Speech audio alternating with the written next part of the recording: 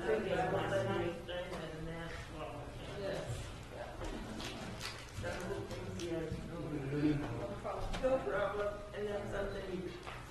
Ready for the storm? Oh, it's not gonna be big, right? What they say, hundred degrees? What's that? What they say, hundred degrees? Three to five. We can handle that. Probably it's all been wet and heavy, they haven't been fluffy. Yeah, so they're hard to shovel. right.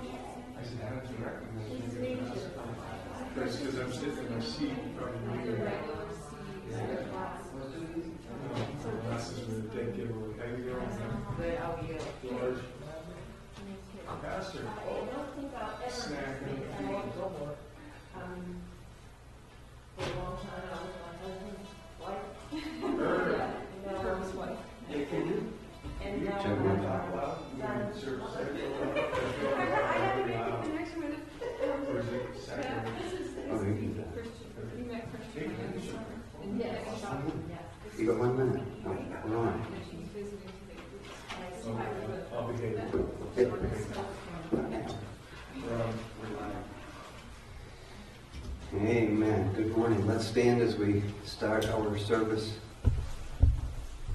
today. Praise the Lord. Let's pray that we can get our uh, service in before we go to the blizzard, okay? But we're from Maine. I mean, a little snow. My goodness, you can drive through 10 feet of snow the way home. Amen. Let's hear the word of the Lord as Pam reads from God's word this morning. I'm reading from the book of John, chapter 3. Man named Nicodemus, a ruler of the Jews. He came to Jesus by night and said, We know you are a teacher of God. No one can do these miracles except God be with him. Jesus said to him, Except a man be born again, he cannot see the kingdom of God. Nicodemus asked how a man can be born again when he's older and cannot enter into his mother's womb a second time. Jesus answered him by saying, Except a man be born of water and of the Spirit, he cannot enter into the kingdom of God. That which is born of the flesh is flesh, and that which is born of the Spirit is spirit. You must be born again. Jesus was baptizing in Aenon near Salem because there was a lot of water there. People came and they were baptized. Jesus was not yet in pri- John was not yet in prison. There was a question between John's disciples and the Jews about purifying. This question pertained to the rabbi who John had been with, who was also baptizing. John told them that a man cannot receive anything except it come from heaven. They could bear witness to this. John told them that he was not the Christ, but he was sent before him. He must increase, but I must decrease. The Father loves the Son and has given all things into his hand. He that believeth on the Son has everlasting life. May all of us believe and have everlasting life through Jesus Christ our Lord. Blessings to each one of you today. Amen. Amen. Amen. Father, we bow before you this morning as we begin our service today. We, Lord, quiet our hearts from the busyness of the week, and we quiet our hearts from that which lies ahead of us for this week. So, Lord, we concentrate on you this morning. Lord, as the word says, may the words of my heart and the meditation of my heart be acceptable in thy sight, O Lord, my God, my strength, and my Redeemer. Amen. Amen. The name of the Lord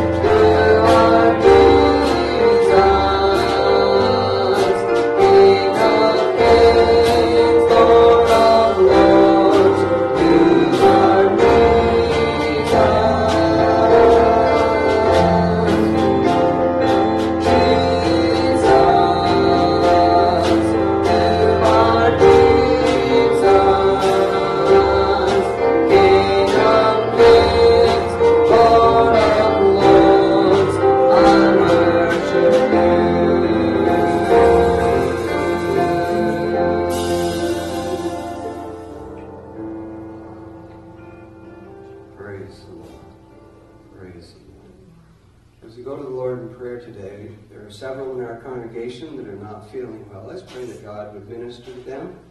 Uh, we have those that are facing surgery. Let's pray that God would uh, be with them, guide the doctors.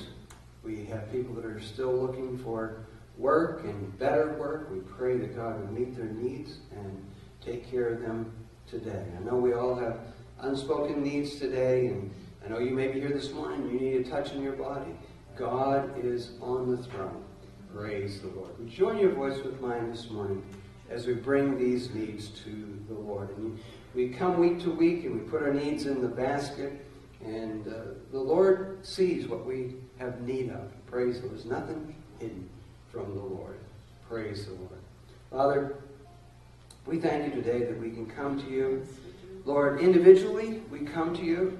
We come to you, Lord, corporately. We come to you, Lord God, humbly before you, Lord, knowing in ourselves that there's nothing that we can do with some of these needs. Lord, it's not a matter of finances. It's not a matter of effort. Lord, we need you.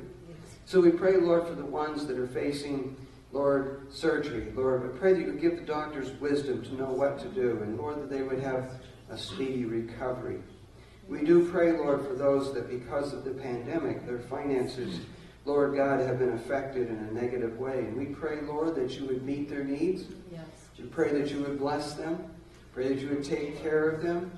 We pray that, Lord God, just in time, Lord, you would provide the very need. We pray, Lord, for our children, Lord God. Lord, we as adults, we, we have a hard time putting, wrapping our minds around, Lord, this is going on in almost a year now. And I pray, the Lord, you would bless our children, help them to understand better. Be with them. Lord, raise their spirits. Encourage them in you today, we pray. We pray for parents, Lord God, that are struggling with making ends meet. We pray as they are trying to help their kids with schoolwork and manage their jobs and manage their household. We pray that you would give them strength and wisdom today, we pray. I pray, Lord, for the unseen burdens that people bear. Lord, nobody knows the trouble I've seen, but you do, Lord, and you know all about it. So, Lord, we, we trust you. Lord, we pray today that your hand of great mercy and hand of love would be upon your people. We ask it in Jesus' name. Amen. Amen. Praise the Lord. This morning, today is the first Sunday of the month, and we will be closing our service out this morning with communion. If you did not get a communion packet, let's see, Vinny, you, anybody did not get a communion packet? If you'd raise your hand, Vinny will get you one before we. Okay, looks like you're good, Vinny. All right, praise the Lord. So, God bless you this morning as you go, Father. Thank you for all of your blessings. I pray, God, you would bless these gifts to your honor and your service and your glory today, we pray in Jesus' name. Amen. Amen.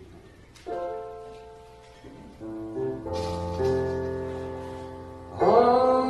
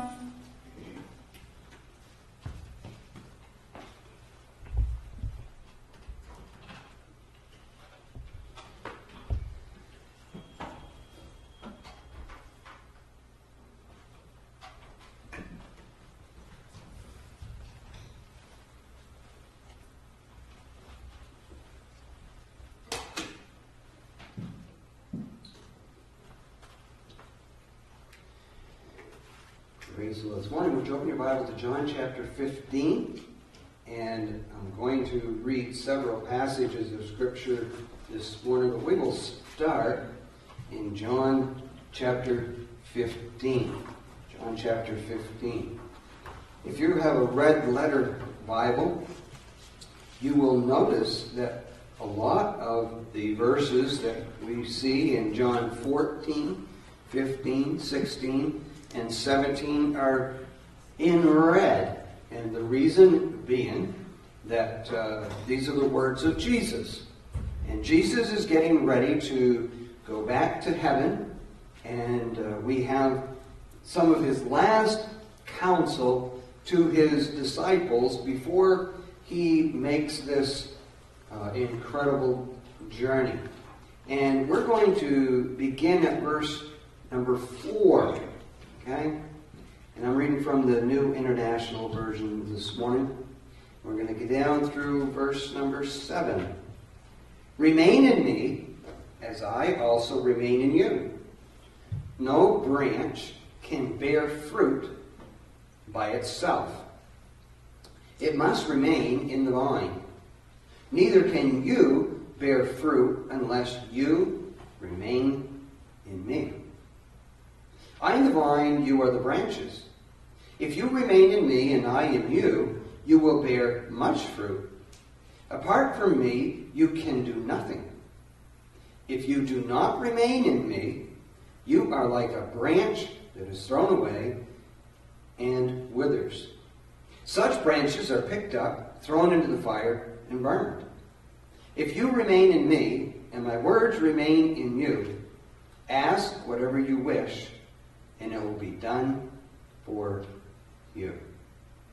And word, Lord, add his blessing to the reading of his word this morning. This morning, stay connected to the vine. Stay connected to the vine. This morning, to illustrate this, I have brought my garden hose. Okay? Are you ready? Did you pick up your towel when you came in the service this morning? Did you you got your towel? Are you ready? Okay, get ready. Now, did you flinch when I squeezed the trigger? It wasn't connected. It wasn't connected. Now, if I had it connected to something and I squeezed the trigger, you probably all would have ducked, okay? Because you know what happens when you squeeze the trigger? When the water's connected and turned on? Water comes out. Isn't that amazing? One time we sent our kids over to church on a Sunday morning. We were all getting ready to come over from the parsonage and we were getting ready, and so the, the kids uh, had gone out of the back of the house and they were uh, had come into the church yet. And I heard them, it was in the summertime, and I, I heard them outside, and we had a little jungle gym out there, and, and I didn't know what they were doing. And all of a sudden, I, I heard uh, our middle daughter crying and screaming. And so I went running out, and I didn't know what happened. I don't know if she fell or what. And uh, there was our son with the garden hose. It was connected, and the water was turned on. And there he was, like this. And our middle daughter was in her beautiful Sunday dress, soaking wet. And I'm going, What did you do that? Why did you do that? And his answer, I mean, he was only four, so we'll give him a little slack there. If he was 35, we would take the hose and use it on him, okay? And he says, But Dad, he said, I wanted to put the pretty rainbow on her dress. The sun was shining bright, and he had squeezed the hose, and the water had fanned out, and it was making a little pretty rainbow right there in the yard. And so he thought he'd just take the pretty rainbow and put it on his sister's dress. He didn't understand he was going to get her soaking wet. Okay? So we only had to have that conversation once. Uh, I did see in a novelty store, I'm not sure which one it was, it was a, it was a spigot, and uh, it wasn't connected to anything, and there was a, uh, like a little barrel down here, small container, and there was water just pouring out of it, and it wasn't connected to anything. I'm going, hmm. It's like I used to tell the kids in children's church, there's a trick to it. I know what it is, but you don't. Come to find out there's a clear plastic tube in the middle, and the water's going up the plastic tube and just going up and right back down. Okay? But if this is not connected to anything, you're not going to get wet. If you're not connected to the Lord, His life is not going to be flowing into you. So you need to stay connected to the Lord. And that's what Jesus is saying here. Our usefulness, our purpose, our fruit is only going to be there when we are connected. Otherwise, well, like this hose, if this is not connected, about the only thing this is good for this morning is a paperweight. Right? Okay? That's about all it's gonna. It's not gonna water the garden. It's not. If it was real hot and you did want me to shoot you, or I wanted you to shoot me with it, it that's not gonna happen until it is, and until it's connected. So the fruit of this is only going to be when it's connected. Your fruit in your life is only going to be when you are connected. Well, I will take a step back from that. There are, and always will be, fruit. But is it good fruit or is it bad fruit? So, with the little hose container there, the little uh, handle, it is giving us fruit. The fruit is, right now, it's bad fruit because it's not doing its job. Okay? If, if I had taken that off and I didn't turn the water off at the, uh, at the spigot and I just left the water running out in the yard, you know what's going to happen to my water bill? Well, we don't have a well here, you know, and that all that money just going. Okay, so that's bad fruit. And so, what happens when we don't stay connected? We will have bad fruit. Now, what happens to things? Jesus said here, if you don't stay connected, you're going to wither up, dry up, and then they're going to pick you up and they're going to take you off to be burned. What happens to things that we don't need anymore? Anybody have a closet? Or a garage? Or a shed? Or a basement? We don't have anything in our houses that we, in, inside, you know, in our that's cluttering up that we don't use or need, right? You don't have anything. If I were to come to your house, every single thing that I would see at your house, you would absolutely say, Yes, Pastor, I need that and I use it every single day. Right? Uh, okay. Um, if, if we, you know, uh, we need to do some weeding.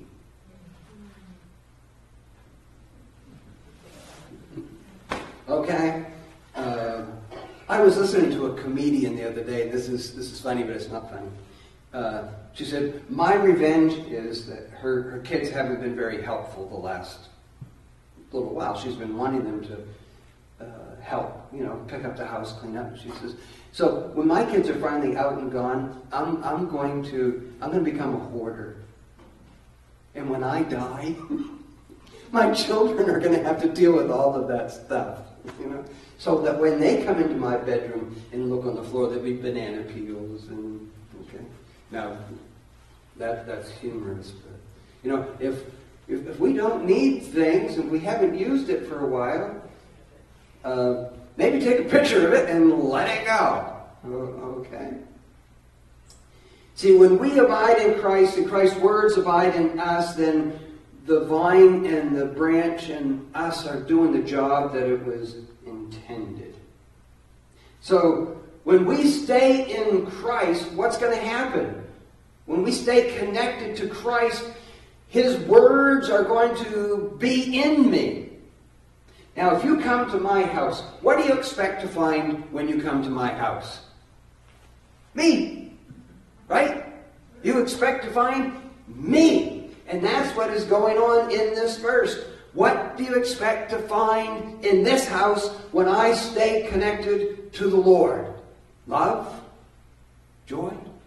Peace? You expect and you should expect to find those things in me.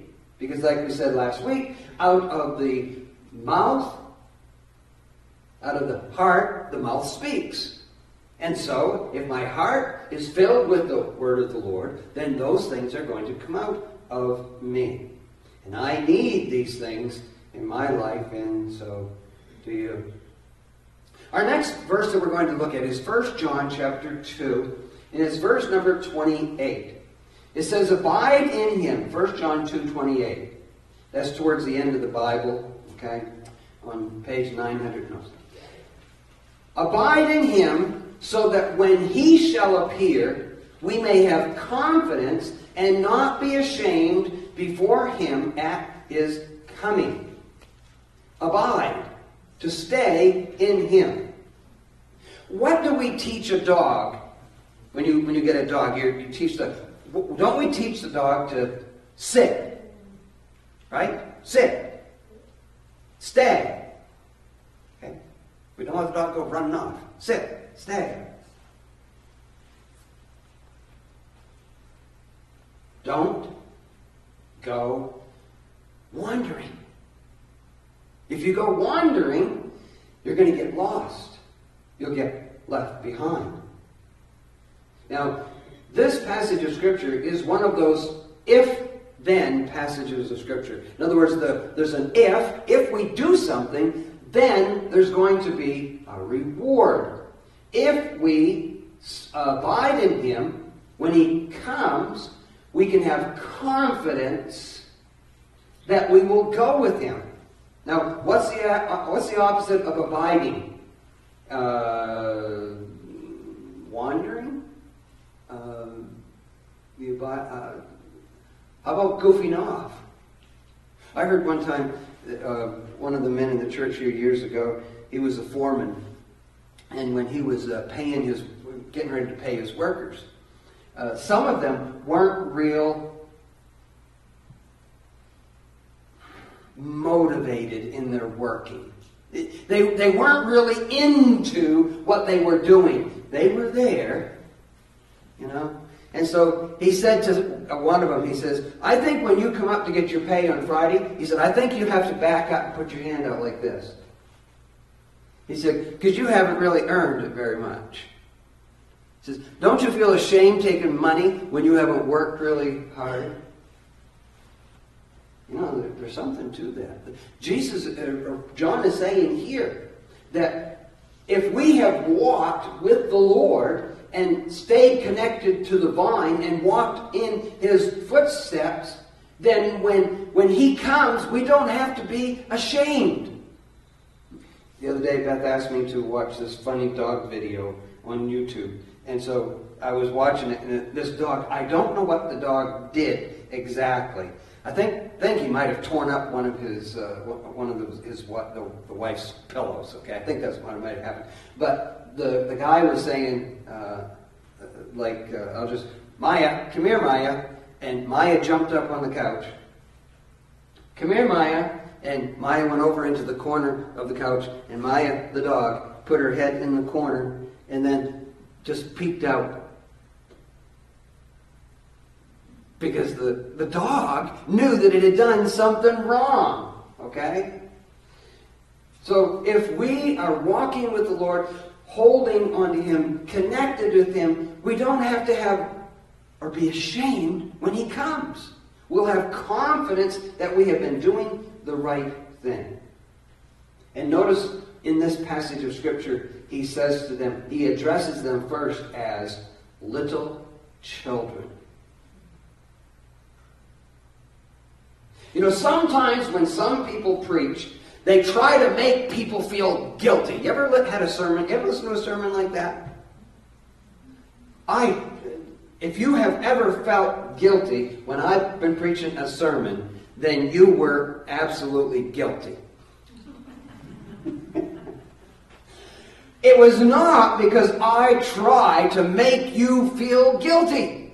That, that is not the job. That is not what I do. I preach the word. And as Brother Johnson used to say years ago, if you take a handful of gravel and you throw it into a barnyard, the only chickens that are in a squawk are the ones that get hit. Okay? So if you get hit, it wasn't because I was aiming at you, it was because the word of the Lord is going forth. And so I, I don't apologize for that. You can just get you can settle that with, with the Lord. But he says little children. And so there's something I want us to get here this morning. When we mess up, it is the devil that is the accuser of the brethren. The devil is the one that wants to make you feel ter- terrible. Jesus says to you, little children. Little little children. You know. You know, it's like my it's like my son that tried to put the rainbow onto his sister's dress. I mean, I don't want him to do it every day and I don't want to do it anymore, but how can you get real upset with that, right? How can you get mad at that? You, you, you know, you can't give him a spanking for that. You can't put him in timeout for that. You just deal with it. You know, my little child, little, little children. And see, that's how the Lord comes to us when, when we mess up. That's what he says to us. He says, little children, I know you messed up. Come here. Okay? He's not looking to pound and fire and brimstone and lightning bolts. Thirdly, in Proverbs 8:17, the psalmist or the Solomon wrote, I love them that love me. Proverbs 8:17, I love them that love me. Notice it does not say, I love only them that love me. Here is love that Christ died for us when what? While we were yet sinners. He died for us. So let it sink in for a moment this morning that God loves you. Even when you mess up, even when before we were in Christ, when while we were yet sinners, He still loved us.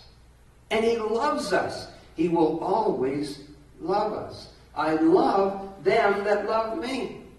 And those that see me, this is the half the second part of the verse. And those that see me early shall find me. Those that see me early shall find me. Now, there are three, three renditions of early that I want to look at. First, they that see me early, let's think about early as in early in the morning. Start the day with the Lord. When you wake up, start off talking to the Lord. Start off, read something in the Bible. Start your day the right way. Start it early. Early in the morning. Secondly, early at the market. When you go to the market, early in the day, what are you going to get? You're going to get the best. If you go at the end of the day, what are you going to get? Well, they may not have any more turkeys at 39 cents a pound, right? Okay? If you look in the paper and Penny says they're, they're going to have a sale, well, if you show up at five minutes to nine before they close, guess what? You're probably not going to get the deal of the day. You're going to get the leftovers. Not much selection left. You're going to have to settle for what was there because you didn't go early to the market. Early in our lives. How blessed it is when a person, a young person finds the Lord. They spare themselves a lot of heartache. Hard to get rid of a lot of those wild oats that we have sowed. Scripture says we sow to, he that sows to the wind reaps what? To a tornado, to a whirlwind. So, the older we get, the harder it is to turn away from stuff and turn to the Lord. So he says, Those that seek me early shall find me. Where do we find things? I've noticed since our kids are all up and grown and gone, uh, most of the time I find things right where I left them, except for my socks. And then if I've left my socks in front of the couch, then my wife sometimes will pick them up. They're in the laundry, okay? Unless my granddaughter is visiting, and so then uh, when I put something down, she may take and carry it off. And, and who knows where it is then. Where do I find things? They that seek me shall find me. Am I going to find God in an ungodly place? Am I going to find God in a sinful place? Well, I might. I might be like the prodigal son who came to his senses and was willing to eat pig slop. You know, you know, the older I get, more sensitive my nose becomes to smell. And the more that, you know, at, at school, we have to watch out when, if one of the kids is sick. Uh, when I was in, when I was in the sixth grade, I remember, flu went through the school. And uh, we used to keep these great big, uh, like one gallon empty cans on the shelf at, in, at the school. And uh, it was like when one kid got sick, they would be sick, and then another kid would look at that and then go, and then we'd have like two or three kids right in a row all sick. And so I can remember our sixth grade teacher, that happened one time, she went, Don't look! because the more the kids were looking, and, and you know, and, and so watch it, and, and smells, I know they, it seems like they, um, my, it just bothers me more, you know. Boy, that guy, he must have been really hungry to want to eat pig stuff, you know. What do we find in God's house? You're going to find His Word. You're going to find His presence. You will find Him when you seek Him. Seek me with all your heart, then you will find me. And lastly, they that wait upon the Lord will renew their strength. They shall mount up with wings of eagles. They shall run and not be weary. They shall walk and not faint. Isaiah 40, 31. Are you weak? Are you weary? Are you faint? Some people, they faint when they see blood.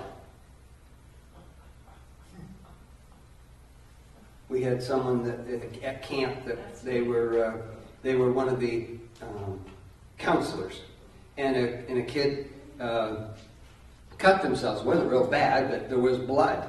And this girl counselor, you know, that this girl, she fell down, cut herself, and she held it up to the girl counselor. And the girl counselor looked at it and went, ah.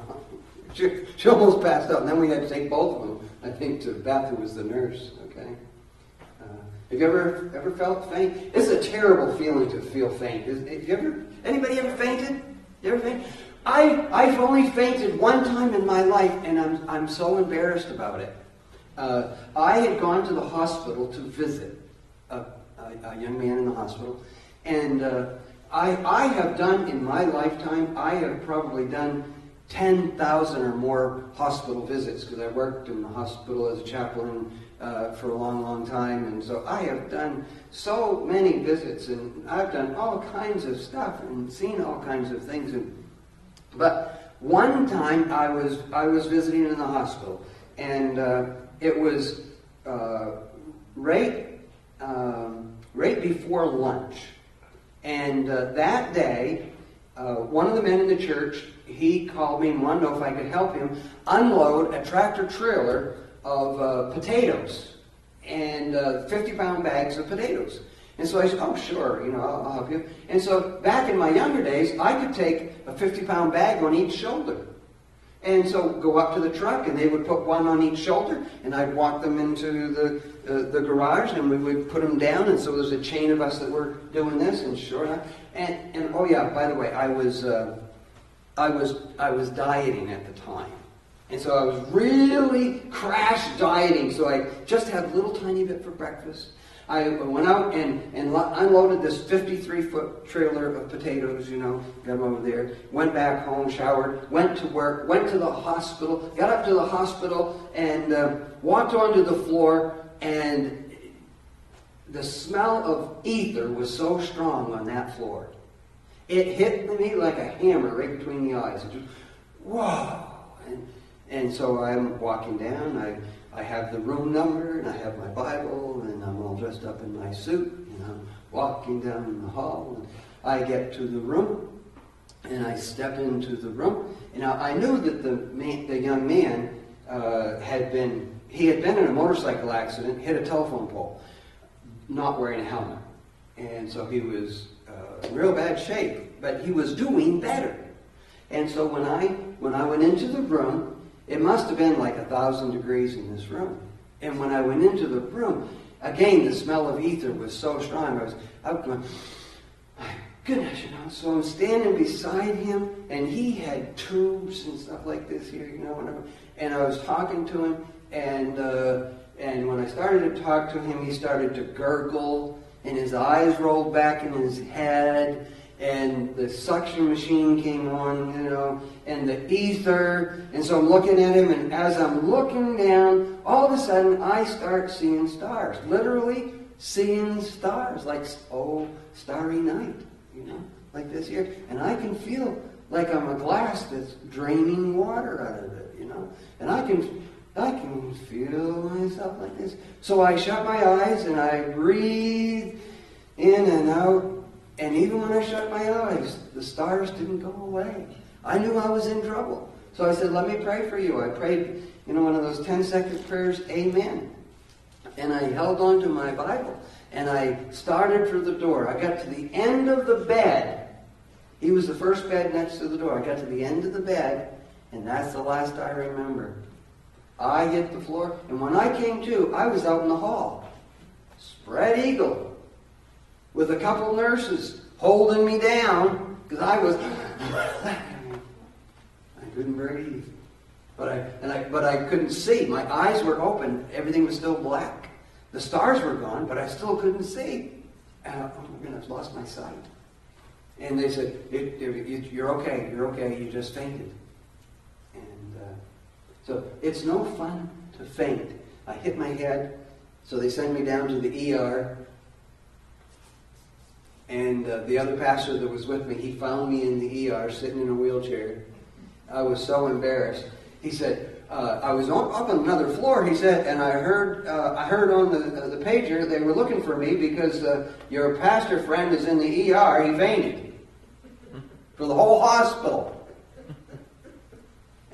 and so I said, let's get out of here. So I just get up out of the wheelchair. I went home. I said, my wife's a nurse. She'll take care of me. They that renew their, their wait upon the Lord, they shall mount up with wings of eagles. They shall run and not be weary. They shall walk and not faint. As, as if you're walking in through the world, there may be things that will come along and uh, they will they will cause you to faint. You might be seeing stars, but wait upon the Lord. Wait upon the Lord. You won't faint in the Lord. Wait upon the Lord. Wait. We sing a song every once in a while. Fill my cup, Lord. I lift it up. Come and quench this thirsting of my soul. Bread of heaven, feed me till I want no more. Here's my cup. Fill it up and make me whole. Wait in the presence of the Lord. Wait. I've used this illustration before, but when our kids were younger and they'd want more to drink, I would go to start to put some more milk in their cup as they're holding it up. And they would get a little bit in the cup, and then I'd still be pouring. They'd pull it back and start to drink. I learned. I would hold the cup and pour. When I got enough in there, I would let them have it. But you know, sometimes we're just like that. We, we wait upon the Lord for 10 seconds. He starts to renew us. What do we do? Oh, we're off and gone. Wait. Wait, wait on the Lord. Abide in Christ. If we stray, get back. As we approach communion this morning, let's examine our hearts. There's anything between you and the Lord this morning, now is the time to make it right between the Lord. Father, we bow in your presence this morning. Pray, O oh God, help us to abide in you. Help us to stay connected to the vine. Lord, you are the source. Help us stay connected to the source. Pray, Lord, this morning as we take the bread, and we are thankful for the bread, and we're thankful for the juice. We're, we're thankful for these emblems that represent your body that was broken and given for us. Lord, for without the shedding of blood, there is no remission of sin. So we thank you, Lord, that love covers that multitude of sin. So we pray, Lord, you would make this time real special to us today, we pray. In Jesus' name, amen. If you want to open your the top one, for the piece of bread, the wafer. Jesus gave the bread to the disciples. Said, Take, eat, this is my body which is broken for you. Let us break the bread together.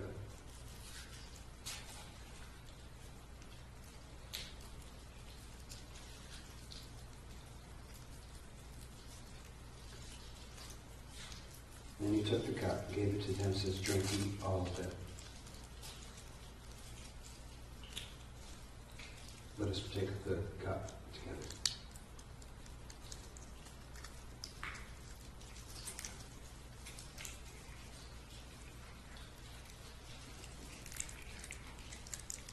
Jesus told his disciples, This do as we have on our communion table, this do in remembrance of me.